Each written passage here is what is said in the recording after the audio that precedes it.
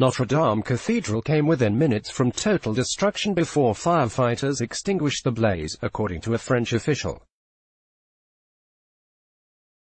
They saved the edifice, but it all came down to 15 to 30 minutes. France's junior Interior Minister Laurent Nunez said, according to The Guardian.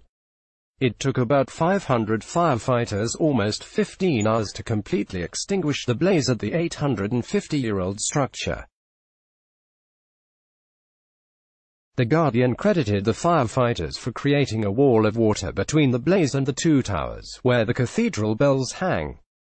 If the wooden frames of the towers had caught fire, it could have sent the bells crashing down and potentially brought about the collapse of the two structures, the newspaper said. Officials are now trying to determine how much of the cathedral is structurally sound.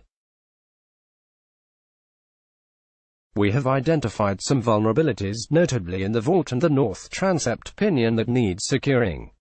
Nunez said. The fire was probably caused by accident, French prosecutors said Tuesday. Let's block ads. Why?